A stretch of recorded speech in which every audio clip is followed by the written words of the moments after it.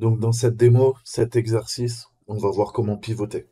Hein. Toto le hacker va passer par un switch, il est sur le même réseau que la première cible. Il va falloir la compromettre pour ensuite pouvoir prendre la main sur la deuxième cible. Le problème de sous-réseau, ok? Un subnet, un autre subnet. Comment on peut faire ça? Déjà, on va venir scanner via map la cible. Il y a un serveur FTP, on va voir si on peut pas l'attaquer. Ensuite, on configurera, grâce au module de poste d'exploitation de Metasquat, un serveur de rebond via un proxy, un serveur proxy en SOX 4. Et je lancerai mon poste client Proxy Chain. Proxy qu'est-ce qu'il va faire? Il tourne sur le port local de mon ordinateur, le 9050. Il va se connecter au serveur que je vais installer de rebond 9050. Ce qui fait que tout ce qui sort, enfin, oui, qui sort par le port 9050 rentre par le port 9050. On va ajouter deux routes. Et donc, vous l'avez compris, mon serveur de rebond va me permettre de rerouter les paquets de quoi? De ce subnet vers ce subnet. Je vais pouvoir scanner la machine, énumérer et lancer mon attaque sur celle-ci grâce à mon cheval de Troie, mon serveur de rebond via des proxy chains, ok? Et un serveur SOX4. C'est parti, on passe à la pratique. Ok, bon.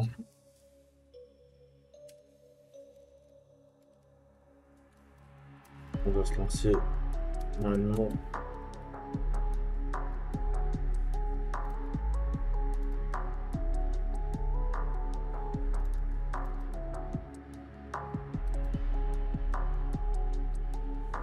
Ok, on a notre serveur FTP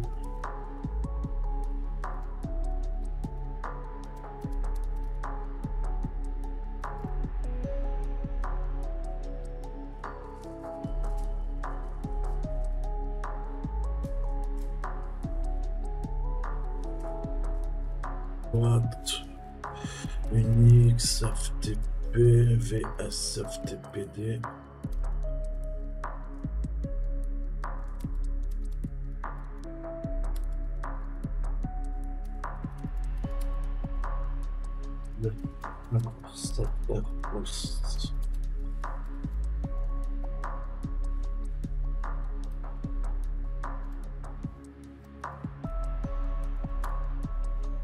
Et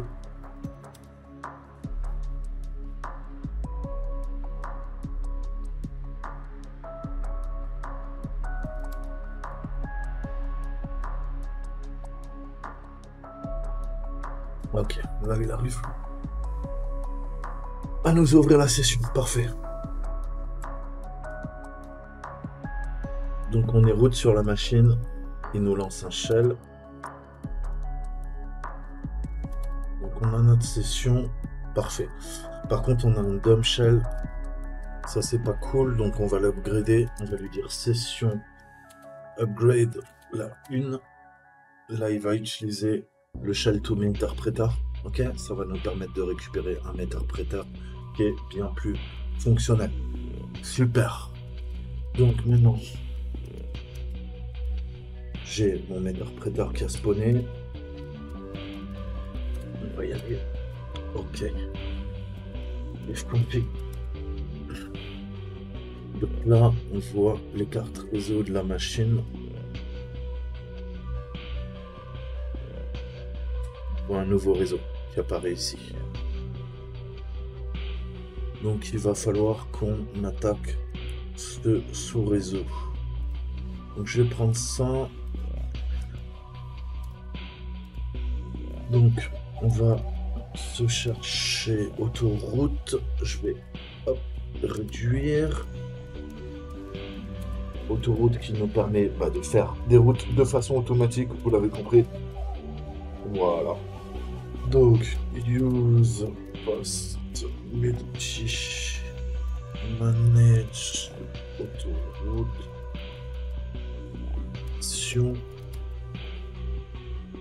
Donc on est en C, hein. broadcast de 255, 255, 255, 0, on est en CIDRO 24, c'est sûr. Nous, il faut qu'on définisse le subnet. Ok Donc je vais lui dire set subnet.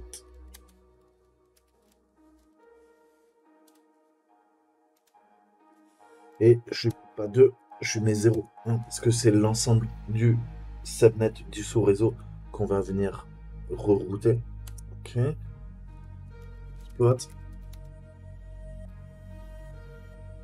Ah oui, il lui faut la session. On a dit qu'on était en session 2. Stat.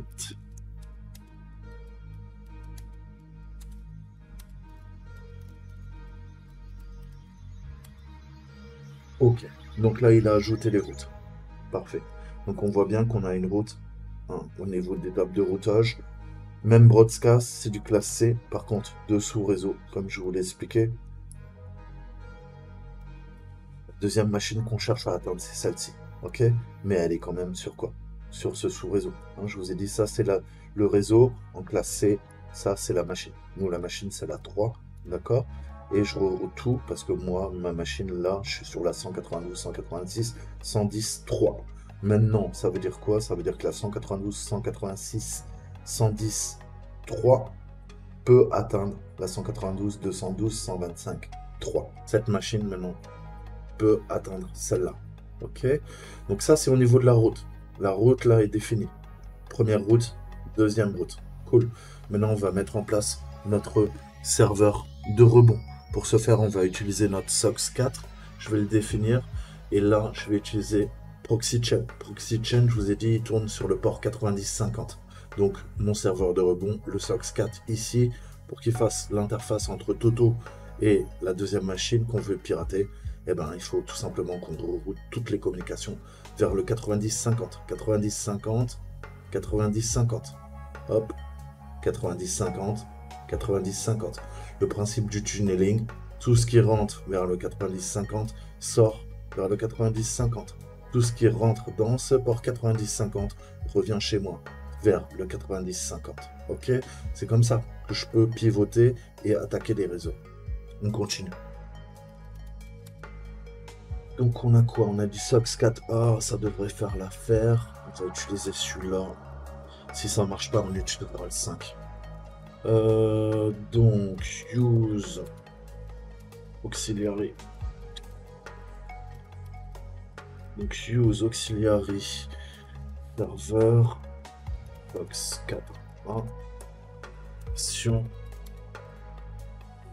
Donc, vous voyez, lui, par défaut, il est mal configuré. Et sur le 1080, ça va pas le faire. Qu'on lui mette le bon port. SRV porte sur le 9050. Ok. Exploite. Voilà. Donc là, vous voyez que il y a le job qui tourne en tâche de fond. On a notre auxiliaire. Donc là, maintenant, j'ai le routage effectif entre ces deux sous-réseaux. Ok Comment je sais ça? Ben, On va aller scanner, je vais faire un netstat, on va avoir sur ma machine, je devrais avoir un port d'écoute. Ok C'est notre fameux serveur qui est actif. Ensuite, on va pouvoir lancer Proxy Chain également sur le port 9050 pour pouvoir pinguer, attaquer la deuxième machine en me servant de la première. Ok? Puisque mon serveur de rebond me permet d'attaquer la deuxième. Et là. Ok. Donc j'ai mon port 9050 en écoute, parfait sur ma machine, mon palais Linux. Maintenant, bah, on va essayer tout simplement hein, de, de pinguer la machine ou de lancer un map déjà.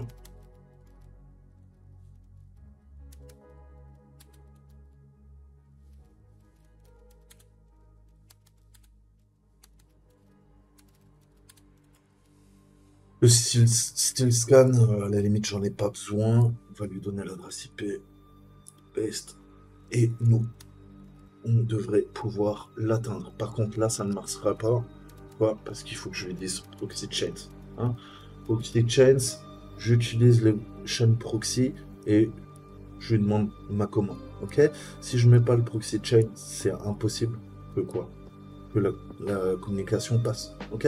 Puisque elle va pas être elle va pas passer par notre euh, serveur de rebond, notre tunneling.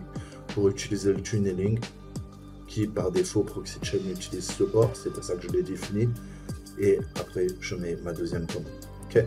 Là, ça va passer par mon tunnel en 90-50.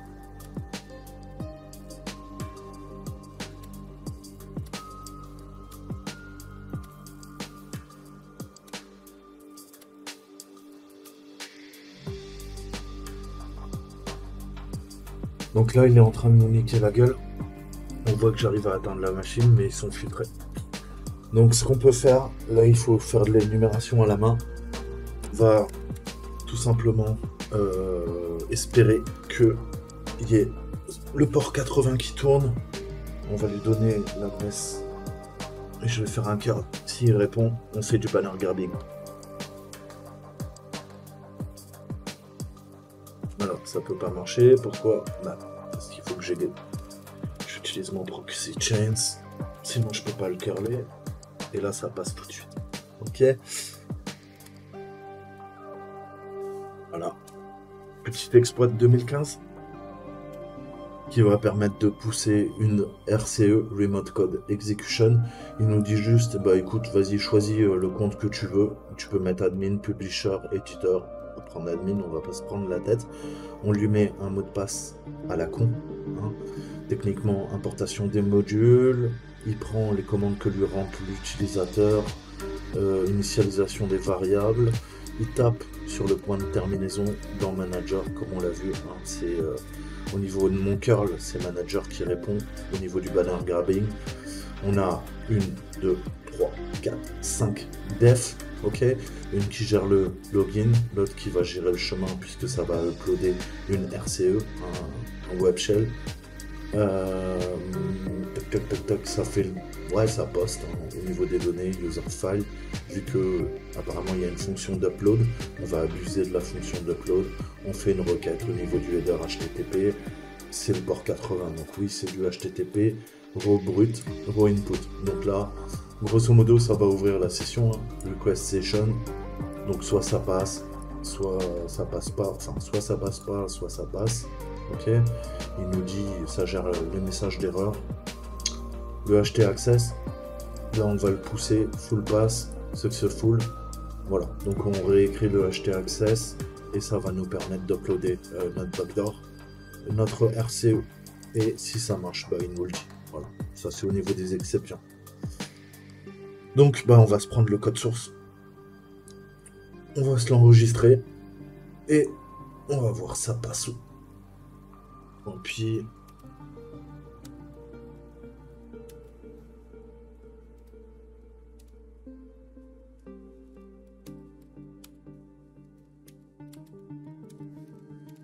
lui donner les droits en exécution.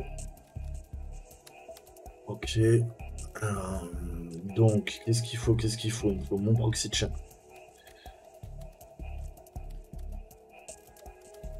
Ok. Il me faut mon. Il me faut mon. Ensuite, il me faut mon HTTP. Deux points. Je reprenne l'adresse IP juste j'ai plus comme ça.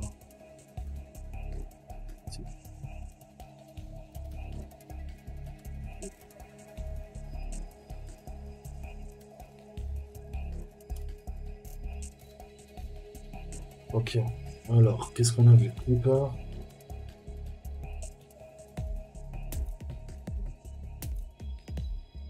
C'est quoi le cœur Le cœur, il nous a répondu quoi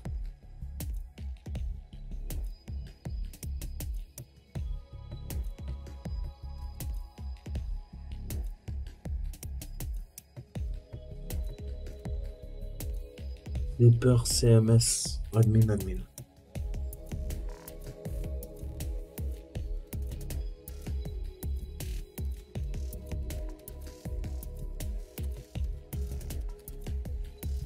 Ce qu'on veut. On peut mettre euh, Toto le hacker. Ça fait une RCL de toute façon, donc euh, c'est pas important. On a vu qu'on a trois comptes qu'on peut exploiter. Alors, il n'aime pas ça, il est en denied. On va tester. Je veux. Donc Python exploit, on va le taper dans Clipper parce que j'ai testé Clipper CMS, ça ne passe pas. Trouver le bon point de terminaison et on va mettre euh, admin password.